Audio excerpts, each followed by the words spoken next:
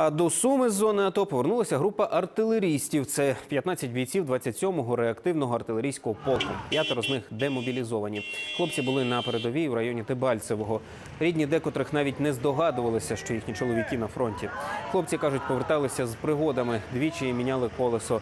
Попри нічну годину зустрічали бійців рідні, близькі, друзі та місцеві активісти автомайдану.